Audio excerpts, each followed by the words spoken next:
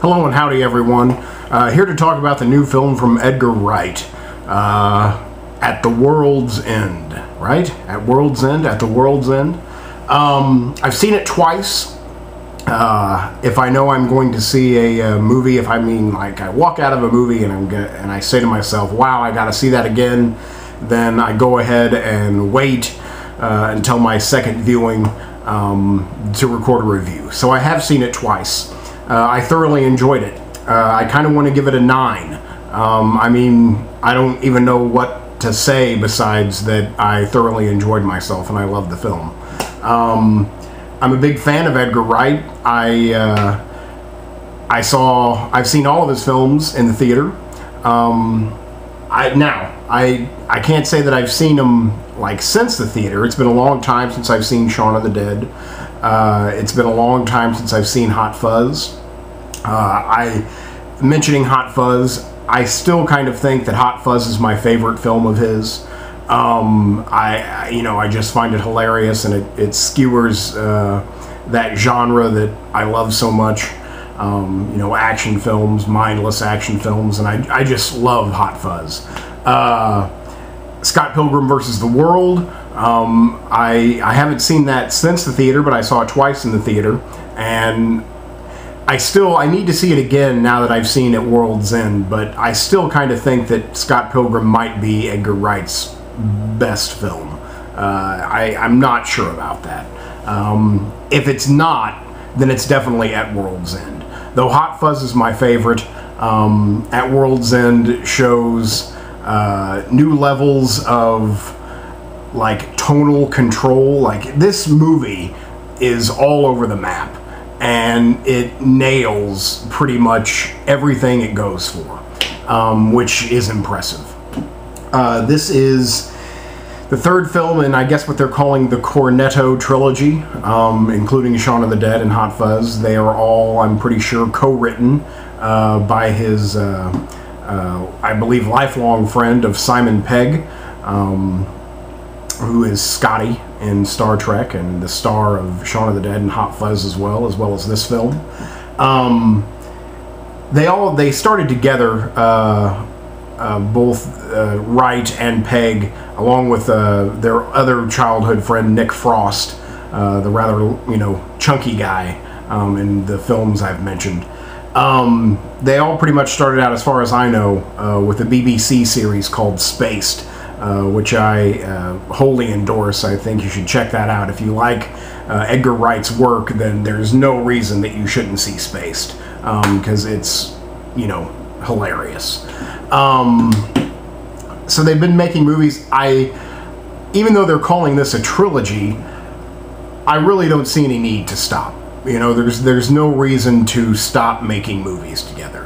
When you're making exceptional works and you're making them, you know, back to back to back, why stop? You know, why give that up? That must be, you know, an incredibly fun experience and then to have it be so artistically rewarding and lauded, then why stop? You know, why stop? So this is me asking them not to.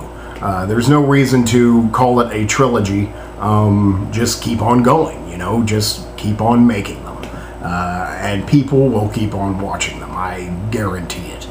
Uh, At World's End is about a man uh, stuck in uh, a period of arrested development in his life. Um, he's a man child, which has become so popular in Hollywood now. Uh, kind of, it's not cliched yet, but uh, you know, it's getting there. Um, this film definitely avoids cliches, uh, you know, all around. Um, so we have this uh, fella played by Simon Pegg, um, Gary, Gary King. Uh, the best night of his life was soon after I believe they were graduating uh, high school. Soon after they graduated high school, uh, they tried to do what was known as the uh, Golden Mile in their uh, hometown, uh, where they would try and drink one pint uh, at 12 different pubs, uh, pubs, excuse me. Um, they didn't make it. You know, they dropped out uh, at various points, but uh, the whole group uh, did not make it. So here it is, uh, 20 some odd years later. Um, he still lives in that night. You know, he still lives in that night, and he uh, tracks down his four best friends, his four best uh, childhood friends, uh, and says, "Hey, we didn't finish it. We finish it, you know, this weekend. We're gonna do it. It's the anniversary. it's the anniversary of the year." Um, so there you go. Uh, he he gets his friends to go on this uh, uh, Golden Mile, I, I, I, guess it was called, uh, and trouble soon starts to happen. Uh, not everything is as it seems, and it turns out that their sleepy hometown has become uh, a oh, what do they call it? some some type of point. What was it called? Uh, interaction point. Uh, I can't remember, but uh, a home base for a invade uh, an invading alien force um, designed to uh, enlighten our species um, uh, by any means necessary. So it's it quickly becomes this mission to get out of town alive, and if they can, you know, save humanity. Um, the film, like Shaun of the Dead and Hot Fuzz, uh, is a satire. Uh, it's incredibly intelligent. It's incredibly heartfelt.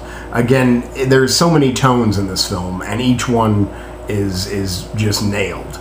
Um, you know, it, it makes you laugh. It makes you think. Um, you know, it makes you uh, you know be in awe. It, it's action packed. It's thrilling. Um, and you know, I wasn't going to say it makes you cry, but it certainly makes you emotional. You know, it gives you things to consider about your own life. Um, I, perhaps because I'm, I'm, I can't say I'm middle aged. I'm mid 30s. I don't think that's officially middle aged. At least I hope not. Uh, but uh, you know, it's about nostalgia and and thinking back on your past and how it can be a trap, you know, to to um, to go back, you know, to go back in your mind and, and how that you can get stuck, you know, stuck there. Um, you know, Gary King is is definitely stuck stuck there.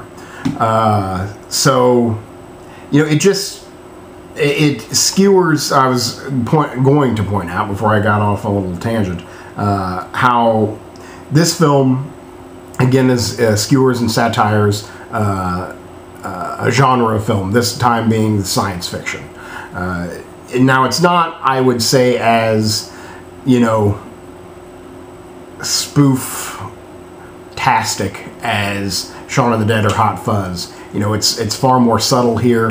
Here it's kind of like they wanted to create, they just wanted to make their own sci-fi movie, but do it their way. It's not necessarily a uh, you know a straight satire spoof, um, though they do send up many cliches. Uh, it's just like they kind of wanted to make a sci-fi movie about the end of the world and just kind of have their own uh, recurring themes and uh, you know put in there.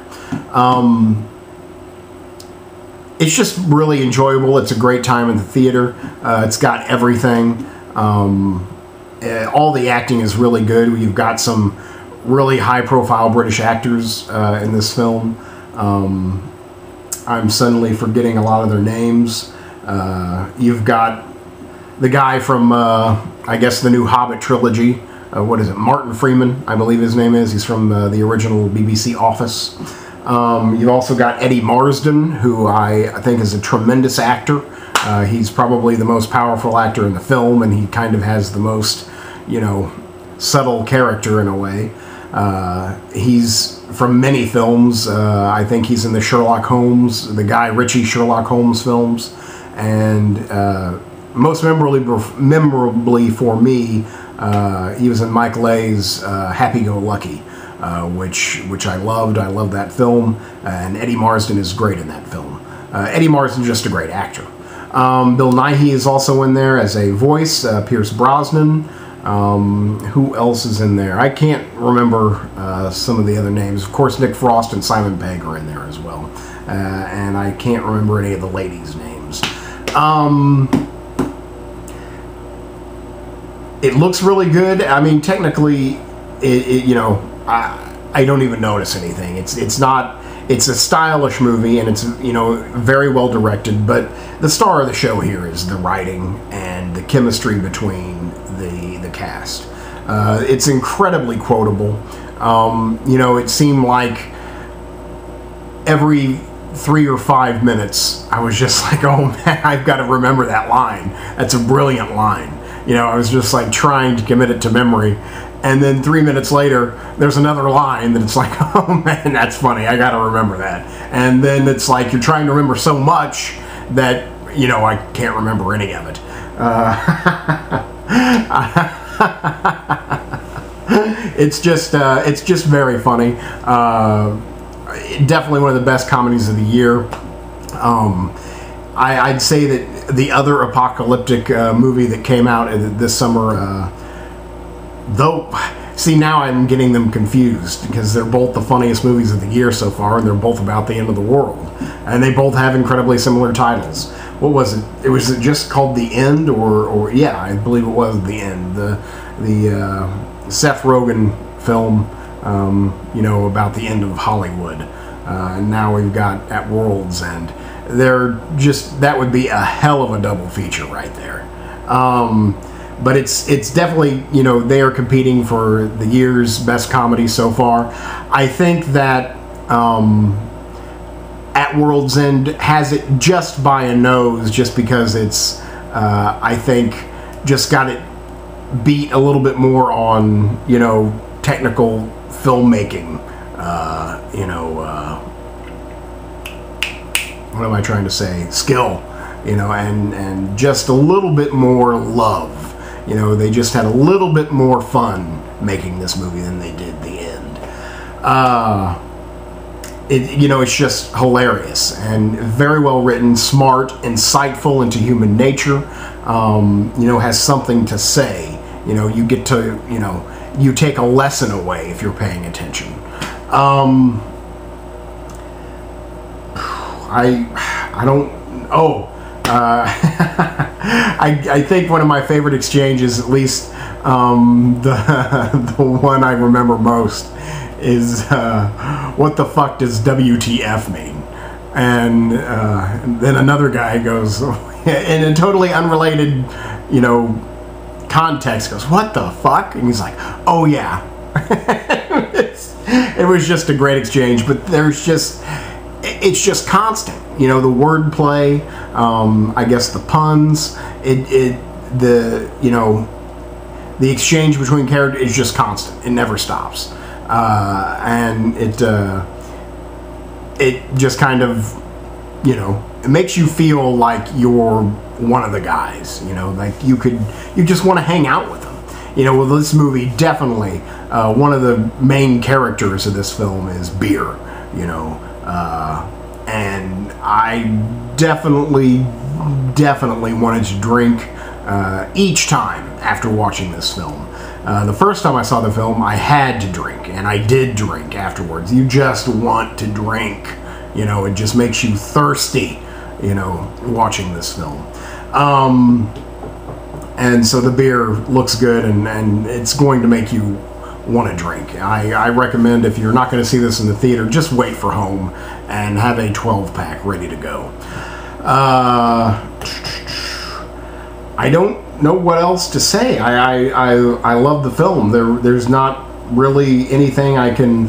Uh, I mean, it had me all the way through. It, it just had me. I, I think it's definitely a highlight of the year. Uh, I definitely am going to have to mention it, you know, at the end of the year.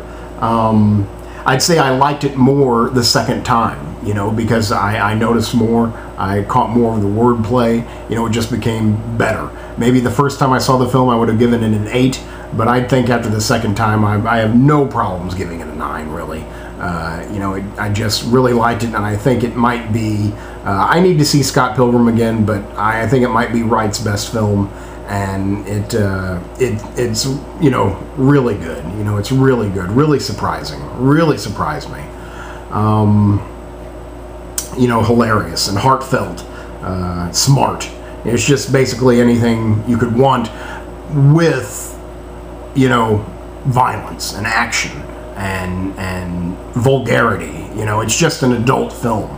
You know, it's a it's a film for adults, uh, but yet reaches and inspires that you know eternal youth that's inside all of us. Uh, that's what they're so good at. And so I will wrap up by saying, please don't stop making movies together. There's no reason just to call it a trilogy. You know, just keep going. You know, making it make it the Cornetto series. You know, there's no reason to stop at trilogy. Uh, so that's my hope. Um, so I guess that's pretty much all I have to say. Uh, I, you know, I thoroughly enjoyed uh, At the World's End, and I'll give it a nine and call it, uh, you know, so far probably the comedy of the year and definitely a highlight of the year. So thanks much.